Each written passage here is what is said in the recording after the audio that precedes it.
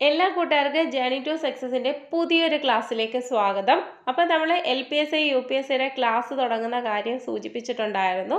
അത് പ്രകാരം നമ്മൾ ആദ്യം പഠിക്കാൻ വേണ്ടിയിട്ട് പോകുന്നത് നമ്മൾ ഓൾറെഡി പറഞ്ഞിട്ടുണ്ടായിരുന്നു സൈക്കോളജിയുടെ ഇൻട്രൊഡക്ഷൻ പാർട്ടാണ് അതിനുശേഷം നമ്മൾ സിലബസിലുള്ള ഓരോ കാര്യങ്ങളാണ് അടുത്ത ക്ലാസ്സിൽ വരാൻ വേണ്ടിയിട്ട് പോകുന്നത്. സൈക്കോളജിയുടെ ഇൻട്രൊഡക്ഷൻ പാർട്ട് എന്തായാലും പഠിച്ചേ പറ്റൂ. അവർ സിലബസിൽ എടുത്ത് പറഞ്ഞിട്ടില്ലെങ്കിൽ കൂടെ ഇതിൽ നിന്നൊക്കെ ക്വസ്റ്റ്യൻസ് ചോദിക്കാറുള്ളതാണ് അപ്പം പതിമൂന്ന് മിനിറ്റുള്ള ക്ലാസ്സാണ്. വളരെ ഇമ്പോർട്ടന്റ് ആയിട്ടുള്ള കാര്യങ്ങൾ മാത്രമേ പറയത്തുള്ളൂ. വലിച്ചു വാരിയുള്ള ക്ലാസ്സുകളില്ല. ഇപ്പോഴത്തെ പി എസ് സിയുടെ ട്രെൻഡ് എന്ന് പറയുന്നത് സ്റ്റേറ്റ്മെന്റ് ക്വസ്റ്റ്യൻസ് ആണ്. നമ്മുടെ സൈക്കോളജിയിലും നിങ്ങൾ അങ്ങനെ തന്നെ പ്രതീക്ഷിച്ചാൽ മതി. അതുകൊണ്ട് തന്നെ ഓരോ പോയിന്റ്സും വളരെ ഇമ്പോർട്ടന്റ് ആണ്. എഴുതി എടുത്ത് തന്നെ പഠിക്കുക. അപ്പോൾ നമുക്ക് ഇന്നത്തെ ക്ലാസ്സിലേക്ക് പോകാം.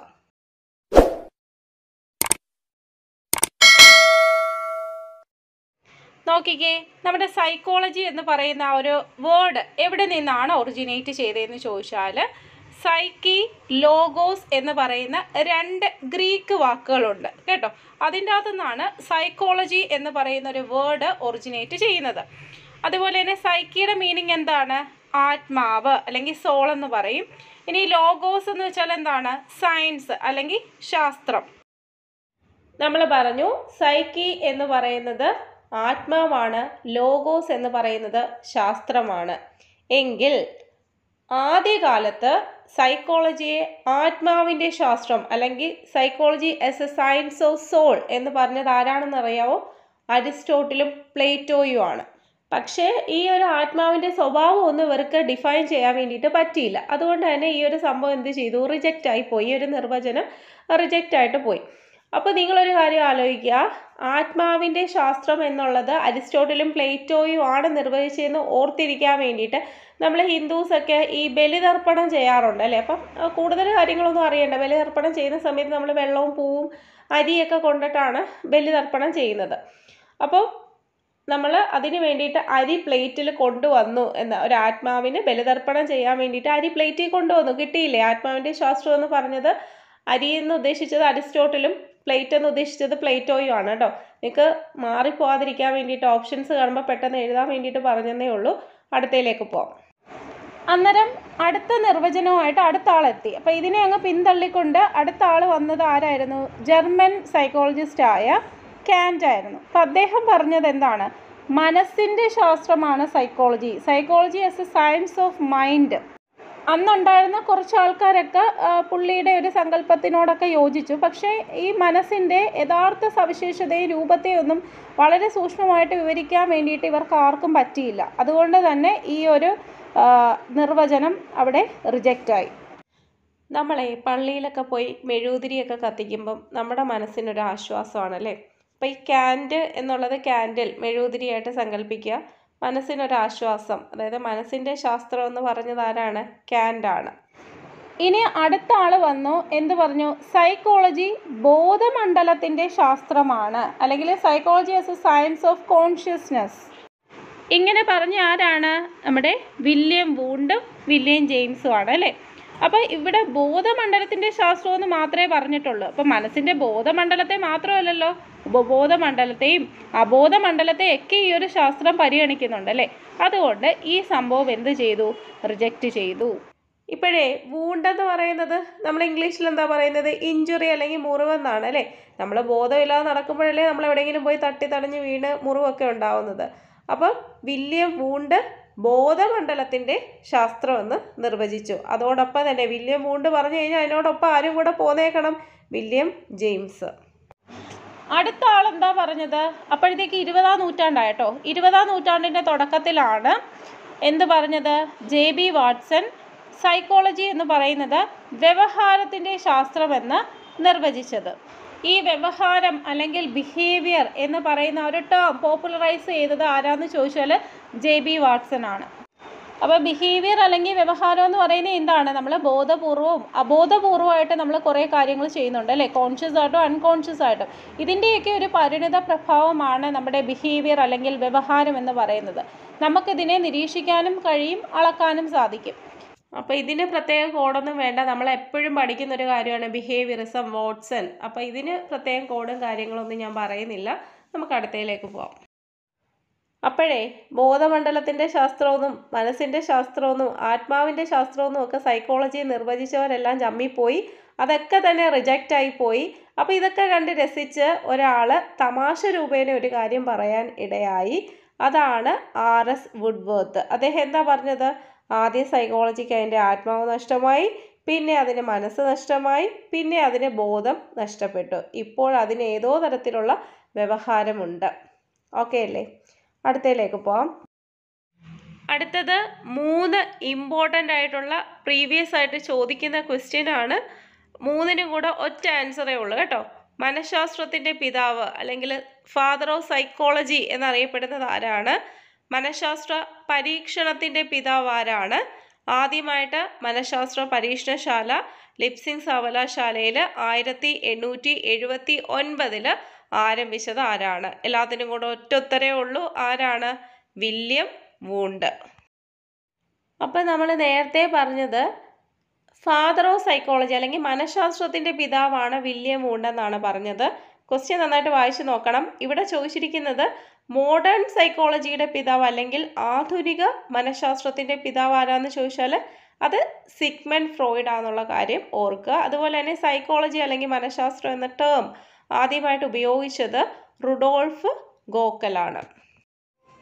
അപ്പോൾ നമ്മൾ ഇനി കുറച്ച് മോഡേൺ ആയിട്ടുള്ള ഡെഫിനിഷനാണ് പറയുന്നത്. ഒരു ആറെണ്ണം ഉണ്ട്. ഈ ആറെണ്ണം നന്നായിട്ടൊന്ന് പഠിച്ചു വെച്ചേക്കാം. നമ്മുടെ ബി എഡിന്റെ ടെക്സ്റ്റ് ബുക്കിലുള്ളതാണ് അതുകൊണ്ട് നമുക്ക് ഒഴിവാക്കാൻ പറ്റത്തില്ല. പിന്നെ ഇമ്പോർട്ടന്റ് ആയിട്ടുള്ള രണ്ട് മൂന്നര പരീക്ഷയ്ക്ക് ചോദിക്കാൻ സാധ്യതയുള്ളതും ചോദിച്ചിട്ടുള്ളതുമായിട്ടുള്ള കുറച്ച് കാര്യങ്ങൾ. ഒന്നാമത്തേത് അനുഭവങ്ങളെയും വ്യവഹാരങ്ങളെയും കുറിച്ചുള്ള പഠനം. അനുഭവങ്ങളെയും വ്യവഹാരങ്ങളെയും കുറിച്ചുള്ള പഠനമാണ് സൈക്കോളജി അല്ലെങ്കിൽ മനഃശാസ്ത്രം എന്ന് പറഞ്ഞത് സ്കിന്നറാണ്. ഇനി പരിസ്ഥിതിയും വ്യക്തിയും തമ്മിലുള്ള പരസ്പര ബന്ധത്തെക്കുറിച്ച് പ്രതിപാദിക്കുന്ന ശാസ്ത്രശാഖയെന്ന് പറഞ്ഞത് ആരാണ്? മർഫിയാണ് മാനസിക പ്രക്രിയകളെക്കുറിച്ചും വ്യവഹാരങ്ങളെക്കുറിച്ചുള്ള പഠനം എന്ന് പറഞ്ഞത് റോബർട്ട് എ. ബാരോൺ ആണ്. മനസ്സിനെക്കുറിച്ചുള്ള ശാസ്ത്രീയ പഠനം എന്ന് പറഞ്ഞത് സി. എഫ്. വാലന്റൈൻ ആണ്. അടുത്തത് മനഃശാസ്ത്രം മാനവ വ്യവഹാരങ്ങളുടെയും മനുഷ്യ ബന്ധങ്ങളുടെയും പഠനം എന്ന് പറഞ്ഞത് ക്രോ ആൻഡ് ക്രോ ആണ്. മനഃശാസ്ത്രം ബാഹ്യ ലോകവുമായി സമ്പർക്കം പുലർത്തുന്ന ജീവികളുടെ വ്യവഹാരത്തിന്റെ ശാസ്ത്രീയ പഠനം എന്ന് പറഞ്ഞത് കോഫ്കെയാണ്. അടുത്തത് ഇമ്പോർട്ടന്റ് ആയിട്ടുള്ള ഭാഗമാണ്. മുമ്പ് ക്വസ്റ്റ്യൻ ചോദിക്കുന്നതാണ് മനഃശാസ്ത്രത്തെ നമുക്ക് രണ്ടായിട്ട് തിരിക്കാം. കേവല മനഃശാസ്ത്രവും പ്രയുക്ത മനഃശാസ്ത്രവും. അപ്പോൾ കേവല മനഃശാസ്ത്രം അല്ലെങ്കിൽ പ്യുവർ സൈക്കോളജിയിൽ എന്തൊക്കെയാണ് വരുന്നത്? പ്രയുക്ത മനഃശാസ്ത്രം അല്ലെങ്കിൽ അപ്ലൈഡ് സൈക്കോളജിയിൽ എന്തൊക്കെയാണ് വരുന്നതെന്ന് നമ്മൾ വ്യക്തമായിട്ട് പഠിച്ചു വെച്ചേക്കണം. കേവല മനഃശാസ്ത്രത്തിൽ പെടുന്നത് സാമാന്യ മനഃശാസ്ത്രം ജനറൽ സൈക്കോളജി അപസാമാന്യ മനഃശാസ്ത്രം അബ്നോർമൽ സൈക്കോളജി സാമൂഹിക മനഃശാസ്ത്രം സോഷ്യൽ സൈക്കോളജി പാരമ്പര്യ മനഃശാസ്ത്രം അല്ലെങ്കിൽ ജനറ്റിക് സൈക്കോളജി ശിശു മനഃശാസ്ത്രം ചൈൽഡ് സൈക്കോളജി നാഡീ മനഃശാസ്ത്രം ന്യൂറോ സൈക്കോളജി ഇത്രയാണ് കേവല മനഃശാസ്ത്രത്തിൽ വരുന്നത്. പ്രയുക്ത മനഃശാസ്ത്രത്തെ എന്തൊക്കെയാണ് വരുന്നത്? വിദ്യാഭ്യാസ മനഃശാസ്ത്രം അല്ലെങ്കിൽ എഡ്യൂക്കേഷണൽ സൈക്കോളജി ചികിത്സാ മനഃശാസ്ത്രം ക്ലിനിക്കൽ സൈക്കോളജി വ്യാവസായിക മനഃശാസ്ത്രം ഇൻഡസ്ട്രിയൽ സൈക്കോളജി സൈനിക മനഃശാസ്ത്രം മിലിറ്ററി സൈക്കോളജി. അപ്പോൾ നിങ്ങൾ ആ പ്രയുക്ത മനഃശാസ്ത്രം നാല് കാര്യങ്ങളല്ലേ വരുന്നുള്ളൂ. അതങ്ങ് പഠിച്ചു വെച്ചേക്കുക. അപ്പോൾ നമുക്ക് കൂട്ടത്തിൽ പെടാത്തതും പെടുന്നതും ഒക്കെ തന്നാൽ പെട്ടെന്ന് എഴുതാൻ വേണ്ടിയിട്ട് പറ്റും. ഓക്കെ അല്ലേ?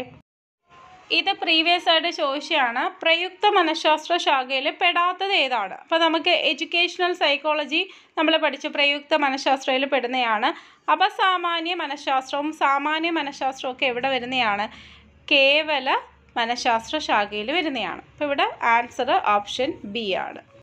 അതുപോലെ തന്നെ ക്ലിനിക്കൽ സൈക്കോളജി അല്ലെങ്കിൽ ചികിത്സാ മനഃശാസ്ത്രം നമ്മൾ പഠിച്ചു പ്രയുക്ത മനഃശാസ്ത്ര ശാഖയിൽ ഉൾപ്പെടുന്നതാണ് അതുപോലെ തന്നെ കുറ്റകൃത്യ മനഃശാസ്ത്രം. ഇത് നമ്മൾ ആ ഒരു കോളം പറഞ്ഞ സമയത്ത് പറഞ്ഞിട്ടില്ല.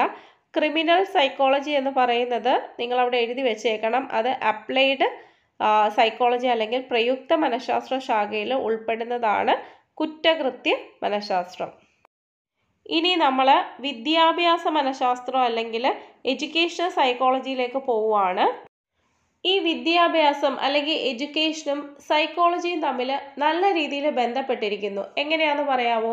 നമ്മൾ പറഞ്ഞു സൈക്കോളജി എന്ന് പറയുന്നത് സ്റ്റഡി ഓഫ് ഹ്യൂമൻ ബിഹേവിയർ അല്ലെങ്കിൽ മനുഷ്യ വ്യവഹാരത്തെക്കുറിച്ചുള്ള പഠനമാണ് സൈക്കോളജി അല്ലെങ്കിൽ മനഃശാസ്ത്രം എന്ന് പറയുന്നത്.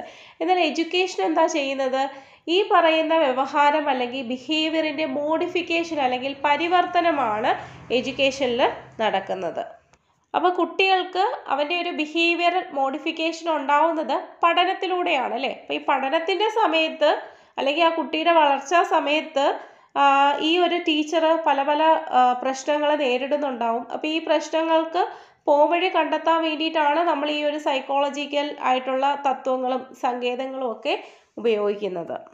അപ്പോൾ മനസ്സിലായി കാണുമല്ലോ മനഃശാസ്ത്ര തത്വങ്ങളെ നമ്മുടെ പഠന സമ്പ്രദായത്തിലും പഠന പ്രശ്നങ്ങളിലും പ്രയോഗിക്കുന്ന മനഃശാസ്ത്ര ശാഖയാണ് വിദ്യാഭ്യാസ മനഃശാസ്ത്രം എന്നുകൊണ്ട് ഉദ്ദേശിക്കുന്നത്. ഇനി നമ്മൾ വിദ്യാഭ്യാസ മനഃശാസ്ത്രവുമായിട്ട് ബന്ധപ്പെട്ട് കുറച്ച് ഡെഫിനിഷൻ അല്ലെങ്കിൽ നിർവചനങ്ങൾ പറഞ്ഞത് പഠിക്കണം. മൂന്നെണ്ണം പഠിച്ചാൽ മതി. ഒന്നാമത്തത് ബോധന പഠനങ്ങളെ കൈകാര്യം ചെയ്യുന്ന മനഃശാസ്ത്ര ശാഖയാണ് വിദ്യാഭ്യാസ മനഃശാസ്ത്രം എന്ന് പറഞ്ഞത് ആരാന്ന് ചോദിച്ചാൽ സ്കിന്നറാണ് എന്താ പറഞ്ഞത്? ബോധന പഠനങ്ങളെ കൈകാര്യം ചെയ്യുന്ന മനഃശാസ്ത്ര ശാഖ. അടുത്ത എളുപ്പമാണ്. വിദ്യാഭ്യാസ മനഃശാസ്ത്രം വിദ്യാഭ്യാസത്തിന്റെ ശാസ്ത്രം എന്ന് പറഞ്ഞത് പിയിലാണ് അടുത്തത് ഒരു വ്യക്തി ജനിക്കുന്ന മുതൽ അവന്റെ വാർദ്ധക്യം ഉൾപ്പെടെയുള്ള കാലഘട്ടത്തിലെ പഠനാനുഭവങ്ങളെ വിവരിക്കുകയും വിശദീകരിക്കുകയും ചെയ്യുന്നതാണ് വിദ്യാഭ്യാസ മനഃശാസ്ത്രം എന്ന് പറഞ്ഞത് ക്രോ ആൻഡ് ക്രോ ആണ്. അടുത്തത് വളരെ പ്രധാനപ്പെട്ട ഒരു ക്വസ്റ്റ്യൻ ആണ്. വിദ്യാഭ്യാസ മനഃശാസ്ത്രം അല്ലെങ്കിൽ എഡ്യൂക്കേഷൻ സൈക്കോളജി സ്വാധീനം ചെലുത്തുന്ന മേഖലകൾ അപ്പോൾ പ്രധാനമായിട്ട് മൂന്ന് മേഖലയാണ് പറയുന്നത്. ഒന്നാമത്തേത് പഠിതാവ് അല്ലെങ്കിൽ ലേണർ ആരാണോ പഠിക്കാൻ പോകുന്നത് അവനാണല്ലോ പഠിതാവ്. അപ്പം ഒന്നാമത്തെ പഠിതാവ്. രണ്ടാമത്തേത് പഠന പ്രക്രിയ എന്ന് വെച്ചാൽ എന്താണ്?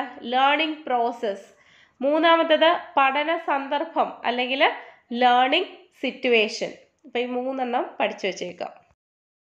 നമ്മൾ നേരത്തെ മൂന്ന് മേഖല പറഞ്ഞു. അത് ഇമ്പോർട്ടന്റ് ആണ്. പഠിച്ചേക്കണം. അതുപോലെ നമ്മൾ കൂടുതൽ ഈ ഒരു എഡ്യൂക്കേഷൻ സൈക്കോളജിയുടെ സ്വാധീനത്തെക്കുറിച്ച് നമ്മൾ കൂടുതൽ അപഗ്രഥിക്കുന്ന സമയത്ത് ഒരു ആറ് മേഖലകളൂടെ നമുക്ക് കാണാൻ വേണ്ടിയിട്ട് സാധിക്കും. അപ്പോൾ അത് നമ്മുടെ ബി എ ടെക്സ്റ്റ് ബുക്കിൽ എടുത്ത് പറയുന്നുണ്ട്. അതുകൂടെ നമ്മളൊന്ന് പഠിച്ചു വെച്ചേക്കണം.